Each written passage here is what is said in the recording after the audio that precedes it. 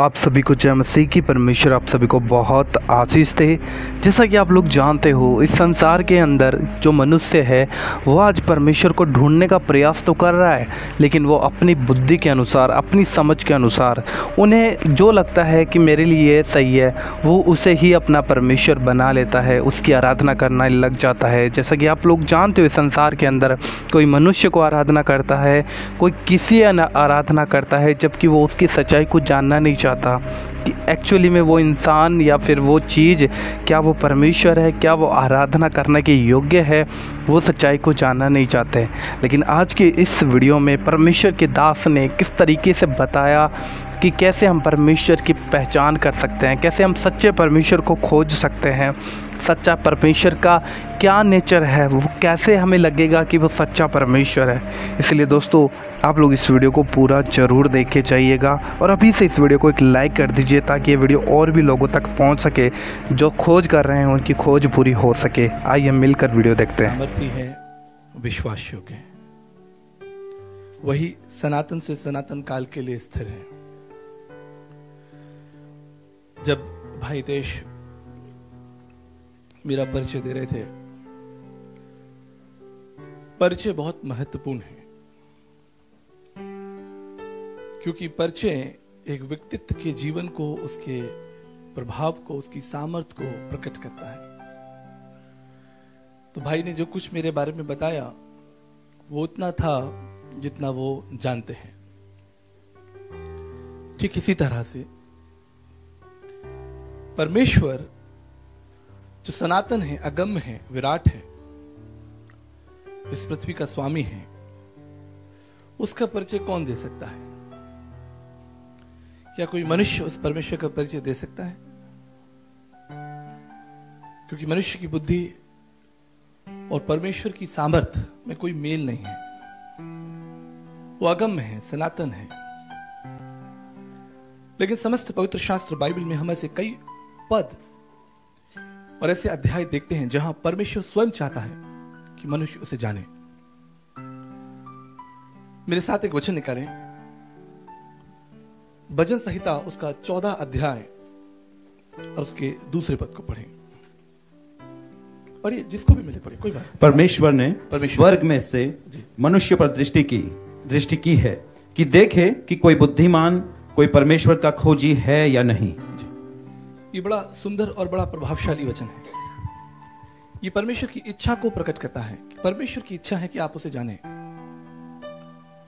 मेरा जन्म एक ऐसे परिवार में हुआ जहाँ मेरे माता पिता और माता पिता के कुछ लोग, परिवार के कुछ लोग प्रभु यीशु मसीह के शिष्य थे।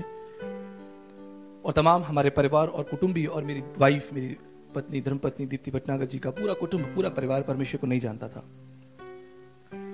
लेकिन जब मैं चौदह साल का हुआ तो मेरे जीवन में एक जिज्ञासा थी कि मैं उस परमेश्वर को जानूं। हम यूपी से रहते हैं, आगरा से मैं बिलोंग करता हूँ तो उस समय लाइट्स, इलेक्ट्रिसिटी का बड़ा प्रॉब्लम हुआ करता था नाइट के समय में। तो मैं छत पर जब हम रात के समय में सोते थे तो मैं तारों को देखता था, चंद्रमा को देखता था, और सोचता था कि हु मेड इट किसने इसे बनाया है? फिर हम गुलाब की खुशबू को देखते हैं, गुलाब का जो फूल है, उसको देखते हैं। उसमें कितनी सुंदर खुशबू आती है। कैसे वो खुशबू वहाँ पहुँच गई? कैसे भांति भांति के पक्षी जो है वो आसमान में उड़ रहे हैं?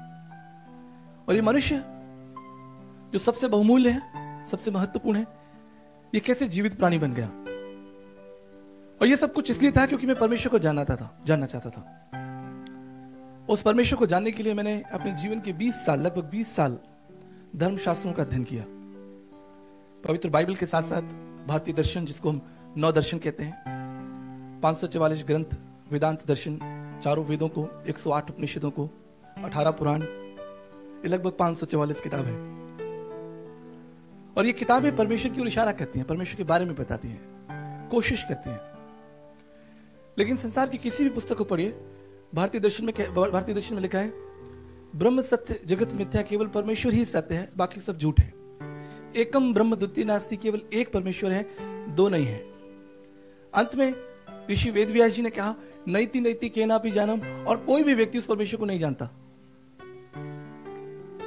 आगे लिखा है कि जब तक स्वयं सृष्टि करता, स्वयं परमेश्वर अपने आप को प्रकट ना करे।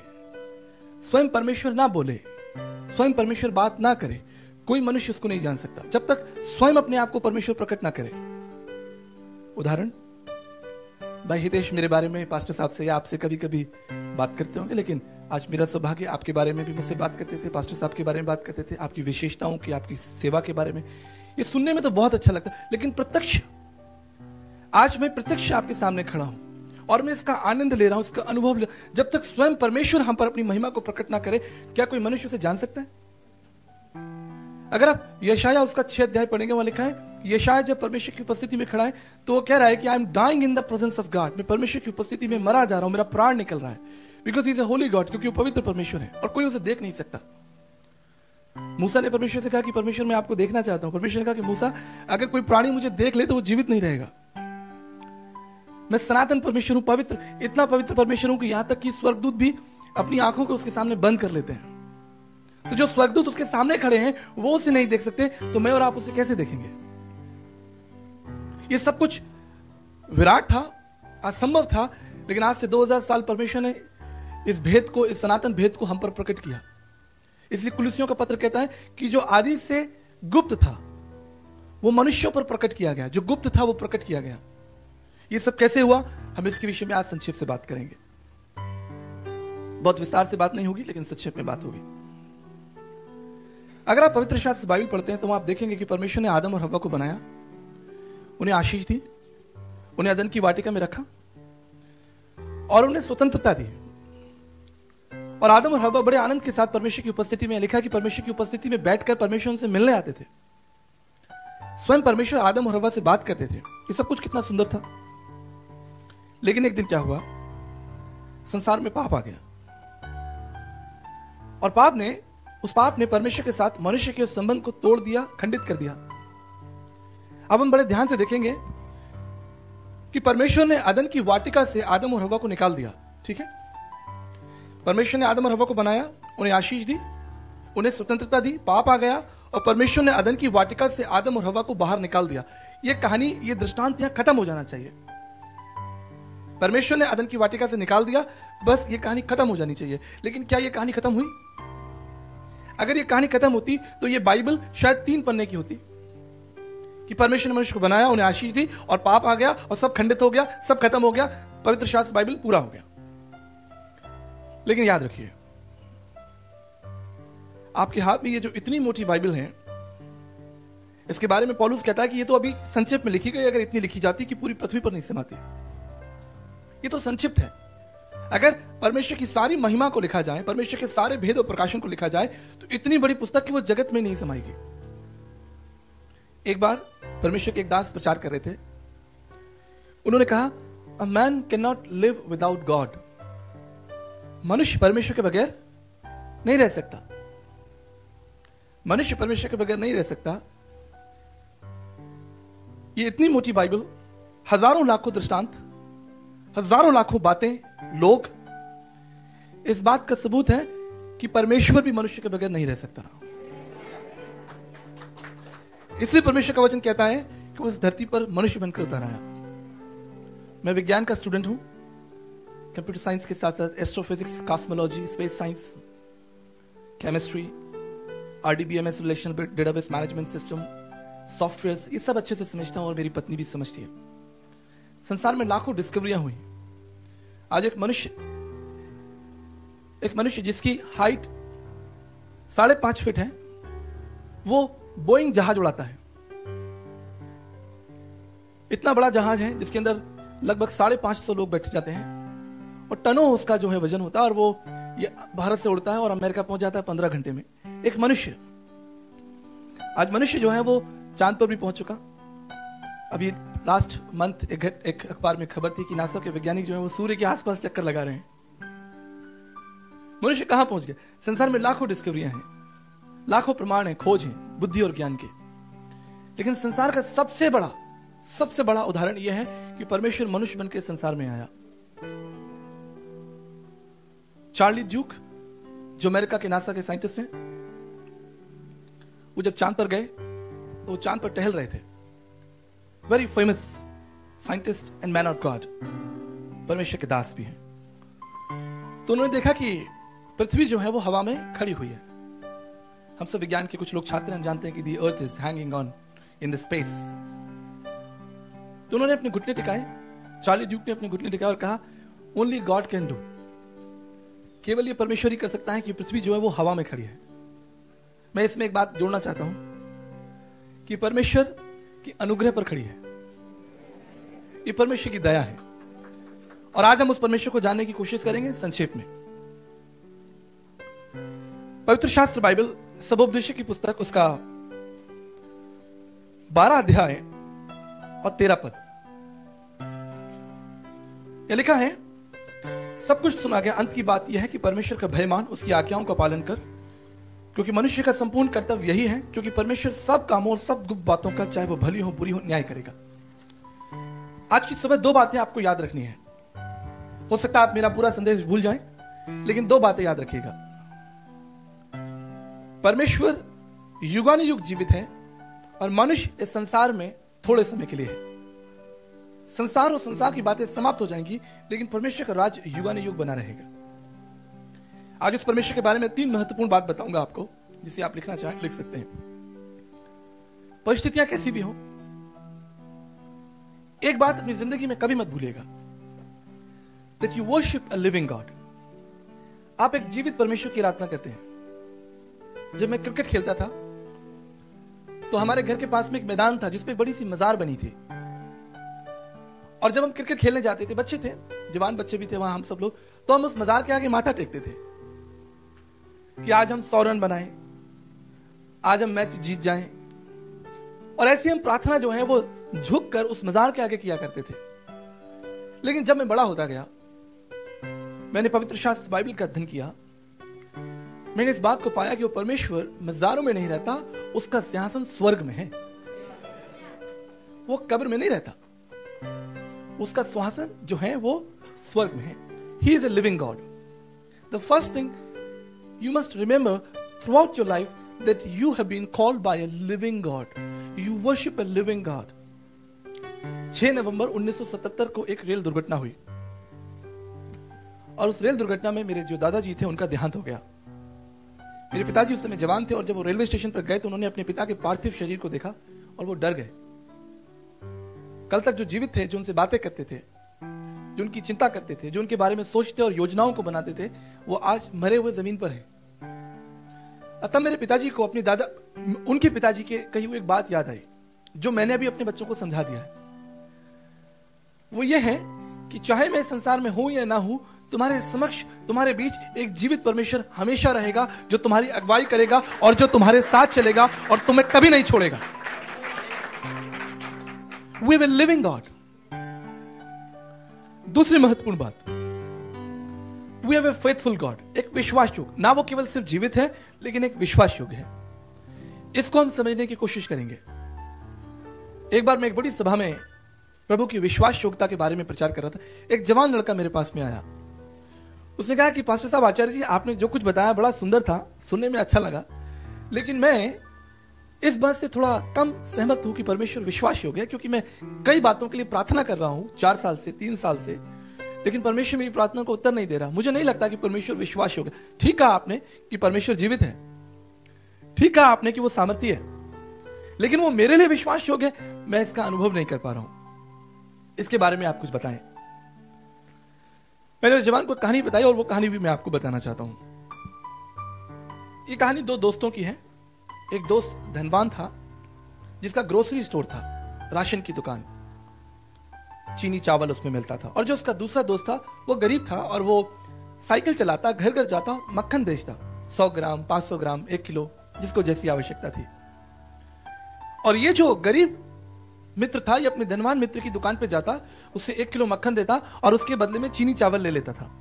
और ये मित्रता ये व्यापार कई दिनों तक चलता रहा। एक दिन इस धनवान मित्र ने क्या देखा कि उसका मित्र जो उसे एक किलो मक्खन देकर गया है, ये एक किलो नहीं है, ये 800 ग्राम है। अर्थात 200 ग्राम की चोरी। तो ये बड़ा दुखी हो गया, बड़ा निराश हो गया, बोला मैं अपने मित्र से पूछूँगा कि उसने मेरे, मुझे धोखा क्यों दिया? तो दूसरे दिन उसका मित्र आया तो उसने उसको पकड़ा और कहा कि, तुम मुझे जो मक्खन देते हो, वो एक किलो नहीं है, वो आठ सौ ग्राम है। तो वो डर गया। उसकी आँखों में आँसू आ गया उसने कहा, मेरे मित्र, मैं आपसे क्षमा चाहता हूँ। फोगिव मी क्योंकि मैं तुम्हारी तरह एक धनवान व्यापारी नहीं हूँ, मेरे पास एक अच्छा तराजू नहीं है। आप एक बड़े व्यापारी हो, आपके पास एक अच्छा तराजू है, लेकिन मेरे पास एक अच्छा तराजू नहीं है। इसलिए मैंने क्या किया? मैंने तुम्हारी दी हुई चीनी के एक किलो पैकेट को अपना बाट बनाया था। मैं तुम्हारी दी हुई चीनी से ही अपना मक्खन तोलता आया हूँ। मेरे प्रियो, जब हम पवित्र शास्त्र बाइबल पढ़ते हैं, परमेश्वर का वचन हमें पवित्रता के लिए प्रेरित करता है, विश्वास योग्यता के लिए प्रेरित करता है, नम्रता के लिए प्रेरित करता है, सद्भावना के लिए प्रेरित करता है, अतिथि सत्कार के लिए प्रेरित करता है। अगर हम अपने जीवन बातों को आज्ञा, इन बातों के लिए आधार नहीं बनाएँगे तो हम कैसे परमेश्वर की उस विश्वास योग्यता को अनुभव करेंगे? परमेश्वर तो विश्वास योग्य है, बिल्कुल सूर्य के समान जो आपको प्रकाश दे रहा है। पंद्रह करोड़ किलोमीटर दूर ये सूर्य जिसके अंदर हाइड्रोजन और हीलियम गैसें हैं, जो साढ़े छह हज़ार साल से खत्म नहीं हुई। जब आप गैस का सिलेंडर इस्तेमाल करते हैं तो वो 18 दिन में या 20 दिन में या उसके उपयोग के अनुसार खत्म हो जाता है। अगर मेहमान आ जाए, अभी हितेश, तुम्हारा तो गैस सिलेंडर तीन दिन में खत्म होगा। तुम्हारे पास बहुत रिलेटिव दोस्त आने वाले हैं। लेकिन आप ये देखिए कि साढ़े छह हज़ार साल से वो हीलियम और हाइड्रोजन गैस नहीं खत्म हो रही क्योंकि परमेश्वर विश्वास योग्य है। जब आप रात को बड़े आराम से अपने कमरे में सो रहे होते हैं तो जुपिटर आपकी रक्षा करता है। आप जानते हैं जो बृहस्पति ग्रह, जिसको जुपिटर कहा जाता है, हमारे कॉस्मोस में, हमारे स्पेस में बहुत सारे जो दूसरे प्लैनेट्स हैं अनआइडेंटिफाइड ऑब्जेक्ट हैं, जिसको रोज प्लैनेट भी कहा जाता है, जो टेढ़े मेढ़े पत्थर हैं मैग्नेटिक फ़ील्ड में घूमते रहते हैं। और अगर एक मैग्नेटिक ऑब्जेक्ट भी आकर पृथ्वी से टकरा जाए, उसका साइज़ जो है वो आपके गुजरात के बराबर है। अगर एक भी चट्टान गुजरात के बराबर पृथ्वी से टकरा जाए तो क्या होगा? हम बचेंगे? लेकिन प्रत्येक दिन, प्रत्येक क्षण the Jupiter is planted by your faithful God to take care of that जैसे आपके घर में वैक्यूम क्लीनर नहीं होता है। ऐसे ही जुपिटर का मैग्नेटिक फोर्स ग्रेविटेशन फोर्स उन अनआइडेंटिफाइड ऑब्जेक्ट्स को बाहर खींच के निकाल देता है कि पृथ्वी तक मत जाना।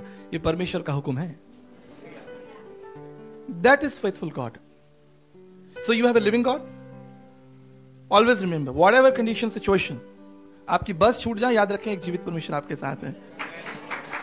ठीक है? आपकी फ़्लाइट छूट जाए फिर भी जीवित परमेश्वर आपके साथ। एग्ज़ाम में पास हो फेल हो जीवित परमेश्वर आपके साथ है। मनुष्य आपका तिरस्कार करे जीवित परमेश्वर विश्वास परमेश्वर आपके साथ है। लोग आपका अपमान करें कोई बात नहीं जीवित तो विश्वास परमेश्वर आपके साथ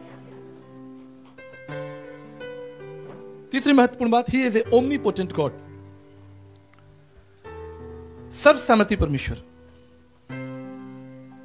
बाइबल से and God said let there be light प्रकाश और प्रकाश हो गया तो एक दिन मैं कुछ साइंस के स्टूडेंट थे, एक कॉन्फ्रेंस चल रही थी। They were all atheist they believe in creation model कि नहीं, ये जो संसार जो बना है, वो कैसे कैसे big bang theory and all that and I was presenting the word of God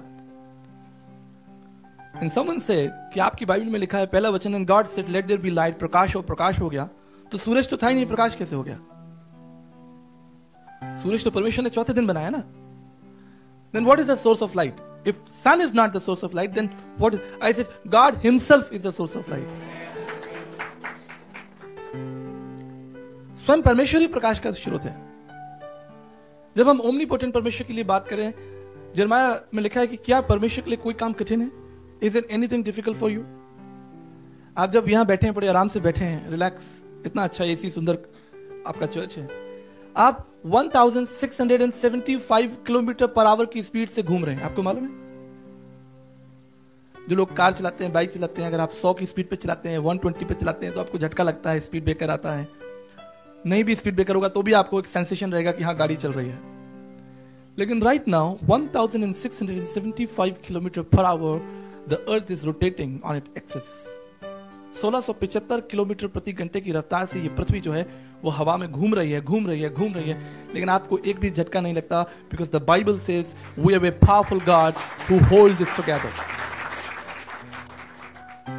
इतना सामर्थ्य परमेश्वर है, और इतना ही नहीं, एक लाख सात हज़ार किलोमीटर प्रति घंटे की रफ्तार से आप सूर्य का भी चक्कर लगा रहे हैं। So there is a two speed rotation and revolution आप खुद भी घूम रहे हैं और सूर्य के चारों ओर भी घूम रहे हैं। इतना सामर्थ्य परमेश्वर है। हम किसी संत महात्मा, गुरु, पीर, पैगंबर की इरादा नहीं करते। हम किसी ऐसे परमेश्वर की इरादा नहीं करते जो मजार में है। बाइबल कहती है, तुम उसके लिए कौन सा मंदिर बनाओगे? क्या हम परमेश्वर के लिए मंदिर बना सकते हैं? Can we build temple for God who is the source of life for everyone वो इतना विश्वास योग परमेश्वर है। देखिए, वो सिर्फ़ मनुष्यों के लिए नहीं हो वो चिड़ियों के लिए विश्वास योग परमेश्वर है।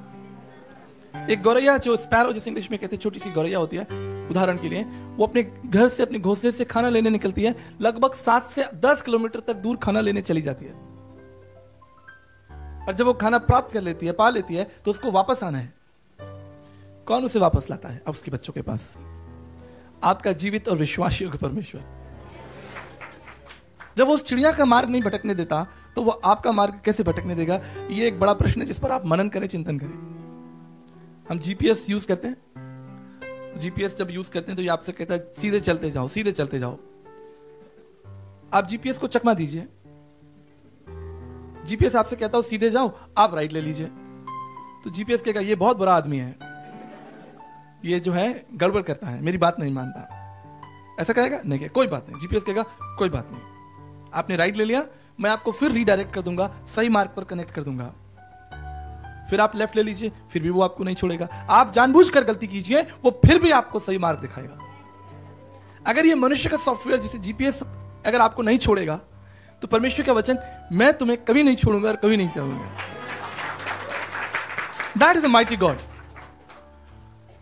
एक वचन आपके सामने पढ़ना चाहता हूँ।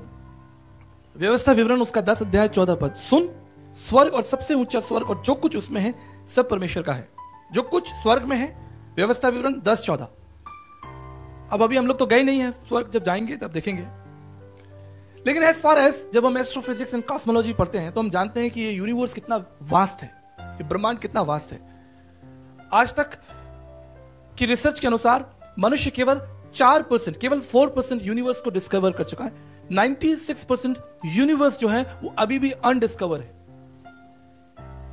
जिसके बारे में साइंटिस्ट कहते हैं कि मनुष्य वहाँ तक कभी नहीं पहुँच सकता।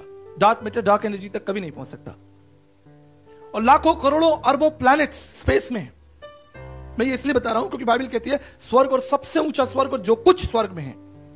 एवरीथिंग बियॉन्ड दिस अर्थ हमारे जो अर्थ की जो फोर लेयर्स हैं, जो लास्ट लेयर है, उसके बाद स्वर्ग शुरू हो जाता है।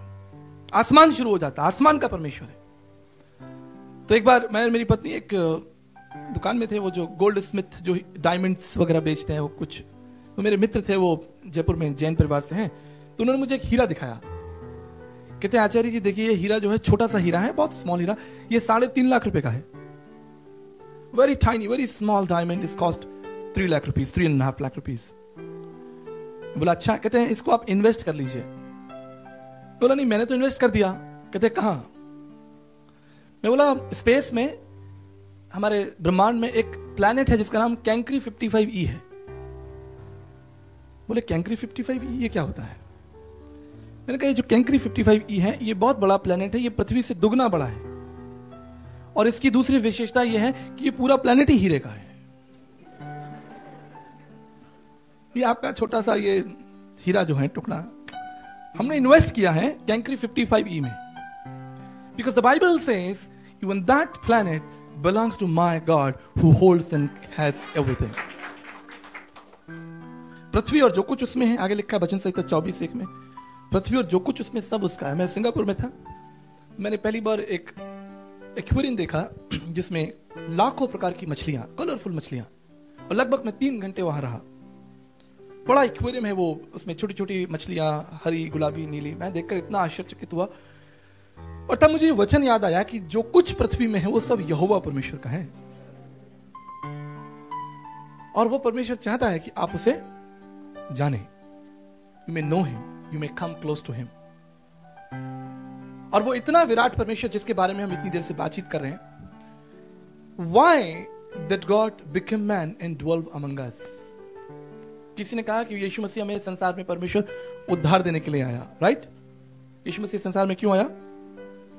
ताकि हमें वो, क्या वो हमें और आपको उद्धार स्वर्ग में बैठ कर नहीं दे सकता था? जैसे उसने कहा लेट देर बी लाइट वो कह सकता था let there be salvation But the Bible says he chose to become man and dwell among us. Let me read some verses for you very fast. परमेश्वर ने अपने प्रेम की भलाई रोमन्स फाइव एट रोमियो का खत, उसका पाँच अध्याय, आठ पद। परमेश्वर ने अपने प्रेम की भलाई हम पर इस रीति से प्रकट की कि जब हम पापी थे तो मसीह यीशु हमारे लिए मर गया। इस वचन पर जरा ध्यान दीजिए।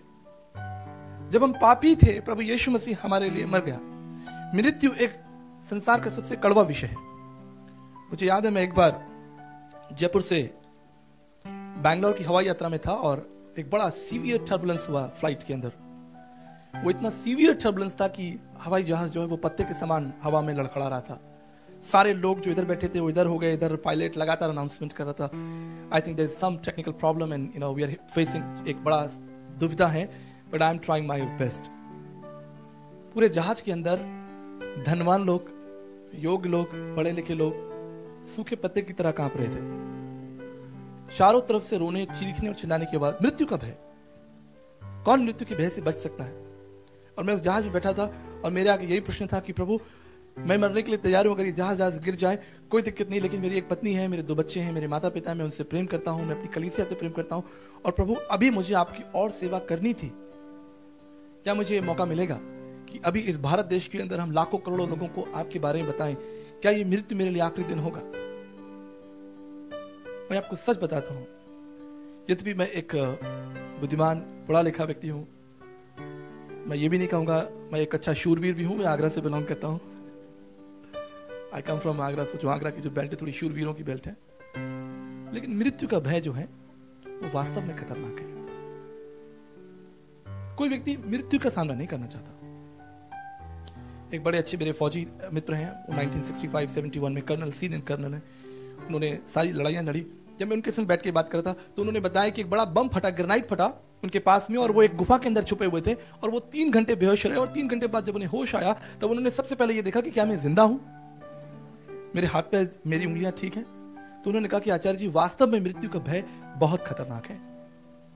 हम इसके बारे में बात नहीं करते, इसके बारे में सोचते नहीं। But in the history there is someone who is deliberately ready to taste the death कोई है जो मेरे और आपके लिए इस मृत्यु को चखने के लिए तैयार है।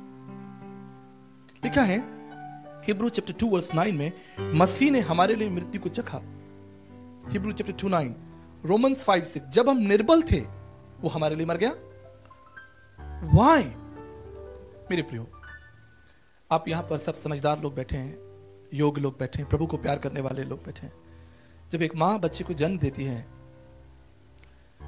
एक जीवन को जीवन देने के लिए उस माँ को उस मृत्यु की समानता में होकर जाना होता है। She has to shed the blood to give life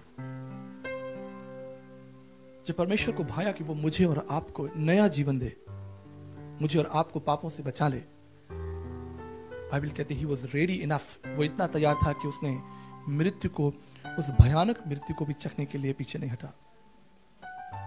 मैं सन 2005 से 2008 तक प्रचार करता था। देश और दुनिया की सबसे बड़ी सभाओं में मैंने प्रचार किया।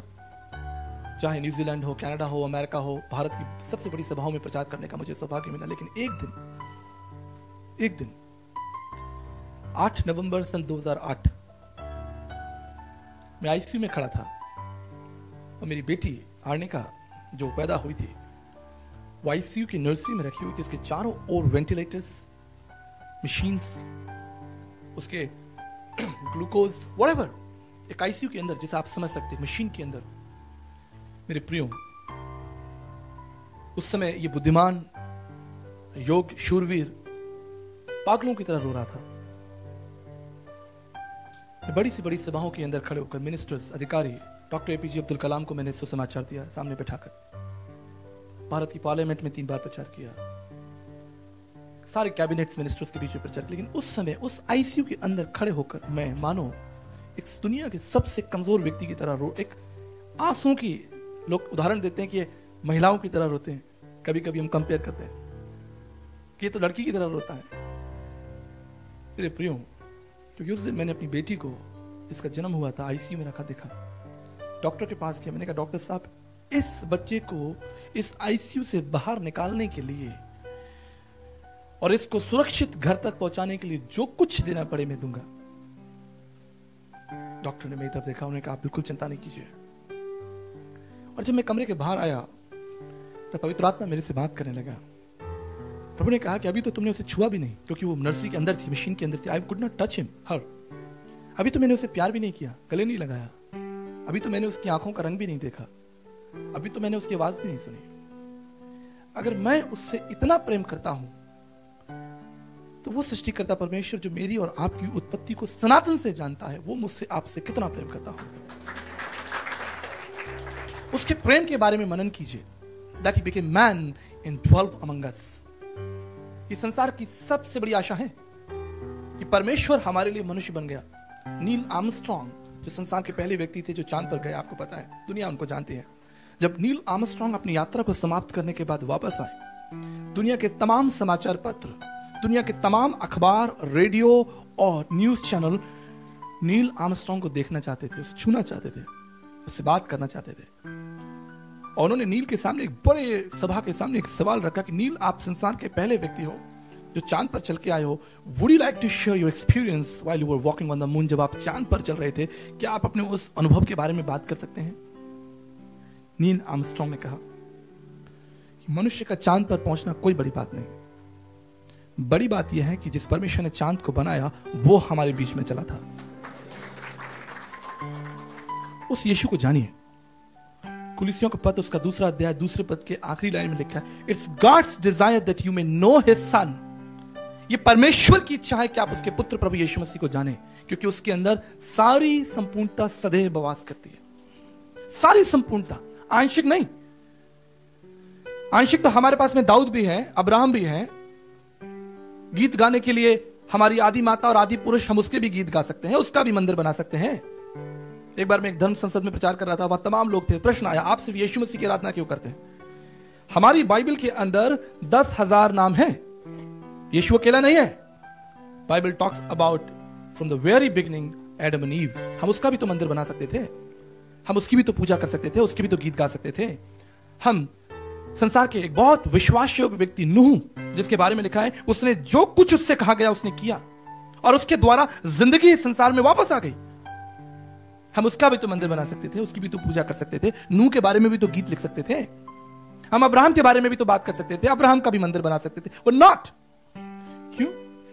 क्योंकि बाइबल कहती है, परमेश्वर की सारी संपूर्णता सद है, यीशु में ही वास करती है। इसलिए यहाँ से खड़े होकर मैं उस यीशु के बारे में बात कर रहा हूँ। मैं दाऊद के बारे में बात नहीं कर रहा हूँ। परमेश्वर उनसे बातें की, वो प्रभु के सेवक लोग थे, प्रभु के आज्ञाकारी लोग थे, लेकिन वो परमेश्वर नहीं थे। What a beautiful that God revealed himself through his son Jesus Christ. जब मैं समापन की ओर हूँ यहुन्ना उसका दस अध्याय और उसके ग्यारह पद में लिखा अच्छा चरवा मैं हूँ, जो अपनी भेड़ों के लिए अपना प्राण दे देता है। कोई आपके लिए प्राण नहीं देगा। मैंने कहा, मृत्यु बहुत कड़वा विषय है। Nobody would like to die for you कोई आपके लिए मृत्यु को चखने के लिए तैयार नहीं होगा। लेकिन प्रभु का वचन कहता नहीं। वो प्रभु यीशु मसीह संसार में क्यों आया? मनुष्य क्यों बन गया? इस भेद को समझिए। 1994 में ओलंपिक चल रहा था। और कई धावक जो है वो मैदान में दौड़ रहे थे उस बड़े इनाम को पाने के लिए। दौड़ शुरू हो गई। तिरसठ हज़ार लोग उस स्टेडियम में बैठे थे। और सारे धावक दौड़ रहे थे। तभी एक धावक जिसका नाम डेरिक रेडमॉन था वो ज़मीन पर गिर गया और उसका पैर टूट गया। डेरिक रेडमॉन ने उठकर दोबारा दौड़ने की कोशिश की, लेकिन वो नहीं दौड़ पाया। उसके सारे मित्र उससे आगे निकल गए। जारिक उन्हें दौड़ता हुआ देखता रहा और उसकी आँखों में आँसू आ गए और वो रोने लगा, क्योंकि उस दौड़ को हार गया। तभी अचानक तिरसठ हज़ार की भीड़ में एक व्यक्ति ओलंपिक के मैदान में आ गया। यह नियम नहीं है। कोई भी व्यक्ति ग्राउंड में नहीं आ सकता। यह खेल नियम के विरुद्ध है। यह व्यवस्था के विरुद्ध है। केवल जो धावक है या जो प्लेयर है, वही ग्राउंड में खेल सकता है आ सकता है। और व्यक्ति दौड़ कर आया डायरेक्ट रेडमोन के पास में, उसने उसके आँसू को पूछा, उसे प्यार किया डायरेक्ट ने कहा, पिताजी थैंक यू फॉर कमिंग आप मेरे लिए मैदान में आ गए, मैं आपका धन्यवाद करता हूँ। तब डेरिक के पिता ने डेरिक को कंधा दिया। और डेरिक ने कहा, पिताजी, मैं ये दौड़ हार गया हूँ, लेकिन मैं इस दौड़ को पूरा करना चाहता हूँ। Though I lost this race, but I want to finish this race. Would you like to help me? तब डेरिक के पिता ने अपना कंधा देकर डेरिक की उस हारी हुई दौड़ को पूरा करा दिया मेरे प्रियो आज से ठीक 2000 साल पहले जब सारी मानव जाति पाप में गिर गई थी अंधकार में गिर गई थी झूठ में हमने प्रकृति की आराधना शुरू कर दी रोमन्स उसका चैप्टर वन कहता है, लोगों ने प्रकृति की पूजा करना शुरू कर दी सच्चे परमेश्वर को भूलकर हम अंधकार की ओर चले गए। इसलिए दर्शन शास्त्र कहता है तुम सदगम या तम सुमा ज्योतिर्मय मृत्युमा अमृत में ये परमेश्वर हमें असत्य से निकाल कर सत्य की ओर लेकर चलो। दर्शन शास्त्र कहता है स्वंभु सृष्टिकर्ता, प्रजापति, यगा यज्ञसम यगो तद रक्तम परमात्रम पुण्यदान, बल्यागनम, सर्व पाप परिहरो रक्त प्रक्षणम आवश्यम केवल परमेश्वरी हमारी सहायता कर सकता है। केवल परमेश्वरी हमारे उस पाप की बोझ को उठा सकता है। ये प्रार्थना परमेश्वर के कानों तक पहुँच गई। वचन कहता है कि परमेश्वर मनुष्य बन के संसार में आ गया। और हम जिस दौड़ को हार गए थे, उसने उस दौड़ को हमारी पूरा कराने में जब मैं समाप्त कर देना चाहता हूँ, आपका ध्यान आकर्षित करना चाहता हूँ, क्रूस की तरफ़, मुझे नहीं मालूम यहाँ कोई क्रॉस या क्रॉस के कोई चिन्ह है या नहीं, लेकिन आप समझते हैं। There is no need cross नहीं भी है, कोई दिक्कत नहीं। लेकिन आप इसको समझें। क्रूस जो है, वो मृत्यु का चिन्ह है, अपमान का चिन्ह है, पीड़ा का चिन्ह है। और प्राचीन समय में बड़े अपराधियों को क्रूस की भयानक सजा दी जाती थी, बड़े अपराधियों को। और जो क्रूस था, वो एक अंधकार की गुफा में रखा जाता था और जिस व्यक्ति को क्रूस की मृत्यु दी जाती थी, उसे निकाल कर उसके हाथों में सौंप दिया जाता था। The cross was sign of death and pain जैसे फांसी का फंदा, या बंदूक जिससे आप किसी की जान ले सकते हैं, ये कोई अच्छी चीज़ तो नहीं है। और इस क्रॉस को एक दिन यीशु मसीह के हाथों में दिया गया। The sign of death, the sign of pain was given to Lord Jesus Christ. And then what happened? Jesus kissed it, embraced it. यीशु मसीह ने उस क्रूस को गले लगा लिया और आप जानते क्या हुआ जिससे लोग डरते थे जिससे लोग छिपते थे जिसे गुफाओं में छुपा कर रखा जाता था जिसका नाम मृत्यु का चिन्ह था दुख और पीड़ा का चिन्ह था आज वो परमेश्वर की अनुग्रह का चिन्ह है। उसकी दया और प्रेम का चिन्ह है। जिससे लोग छिपते थे, आज उसकी ऊँचे स्थानों पर लगाया जाता है। और करोड़ों करोड़ों लोग वैज्ञानिक, डॉक्टर्स, इंजीनियर, साइंटिस्ट उसके आगे दंडवत करते हैं। इमेजिन इमेजिन, अगर यीशु इस लकड़ी के जीवन को बदल सकता है, उसके इतिहास को बदल सकता है तो वो मेरे और आपके जीवन को क्यों नहीं बदलेगा? उसने कहा है उसने कहा है थ्रू माई ब्लड हम बच्चे देखते हैं जैसे बच्चे आगे बैठे हैं। हम्म, माता पिता का डीएनए इनके अंदर है ठीक है? आज हम परमेश्वर की संतान क्यों है? इसलिए है क्योंकि we carry the DNA we carry the blood of our Lord Jesus Christ इसलिए उत्पत्ति का वो परमेश्वर जिसने आदम की वाटिका में आदम और हवा को निकाल दिया वो वापस उनके पीछे आया और आज भी वो आपके पीछे हैं। तभी आप दोस्तों मैं आशा करता हूँ कि आज इस परमेश्वर के दास के द्वारा परमेश्वर का वचन आज आपके हृदय को छू गया होगा और आज आपने सच्चाई को जान लिया होगा। क्योंकि देखिए बाइबल हमें साफ़ कहती है कि तुम सत्य को जानोगे सत्य तुम्हें स्वतंत्र करेगा। सच्चाई कौन है परमेश्वर है? जब हम परमेश्वर को ढूंढते हैं तो परमेश्वर मनों का जांचने वाला परमेश्वर है। यीशु मसीह ने कहा कि तूने मुझे नहीं, परंतु मैंने तुझे चुन लिया है। प्रभु खुद हमारे पास आता है। उसने खुद हमारे लिए अपना बलिदान दिया। खुद उसने हमसे प्यार किया। जब हम पापी ही थे, तब प्रभु ने हमसे प्यार किया है। आज हमें सच्चे परमेश्वर को ढूँढने की ज़रूरत नहीं है। खुद खुदा ने कहा जाओ, जगत में सुसमाचार प्रचार करो। लोगों को बताओ कि मैं सच्चा परमेश्वर हूँ। लेकिन अफसोस, जब आज जिस दुनिया के अंदर जब हम सच्चे परमेश्वर का प्रचार करते हैं तो लोगों को वो झूठ लगता है, वो विरोध की बातें लगती है। इसी बात के लिए प्रभु यीशु मसीह ने कहा, धन्य वे जो मुझे बिना देखे मुझ पर विश्वास करते हैं।